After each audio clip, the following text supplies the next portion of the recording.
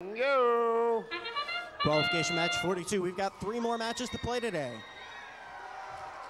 341 Miss Daisy for the Blue Alliance over the charge station. They've got a cone in hand after placing their own preload.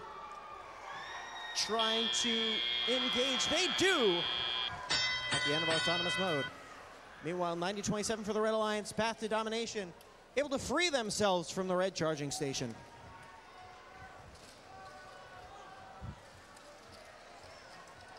With about two minutes remaining in this match. Path to domination at center field. 321 Robo Lancers. We've got a solid link light. That usually indicates some comms or electrical issue. We'll see if they're able to recover. There's plenty of time left in this match. Blue Alliance has already completed one link. Team 102 Gearheads racing back. -da -da -da. That's charge, uprighting themselves reaching sky high with that cube in hand for the middle row. Just off the mark, though.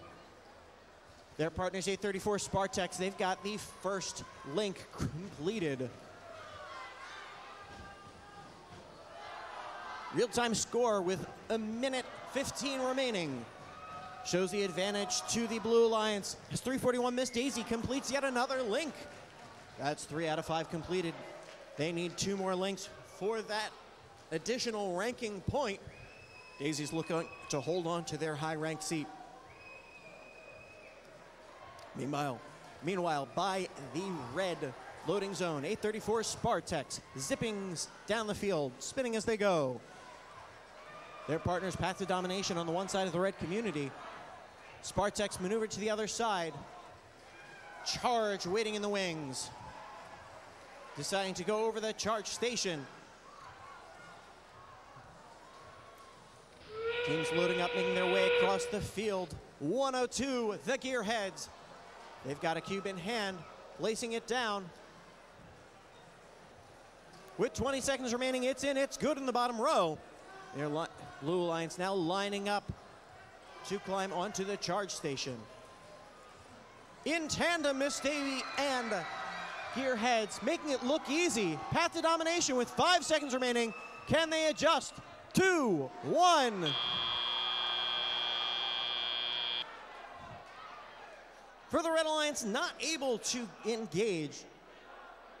Our referees taking a look to see if they're docked. We'll be back with the final scores in just a moment.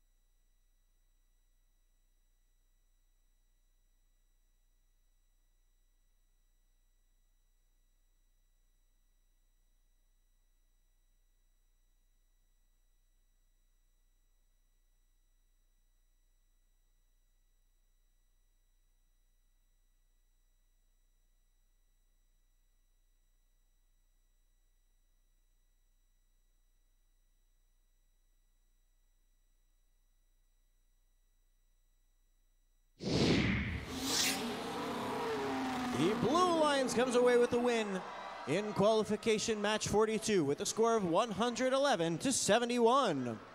That helps move Team 102, the Gearheads, up to eighth, and Miss Daisy holds on to their number four ranking spot.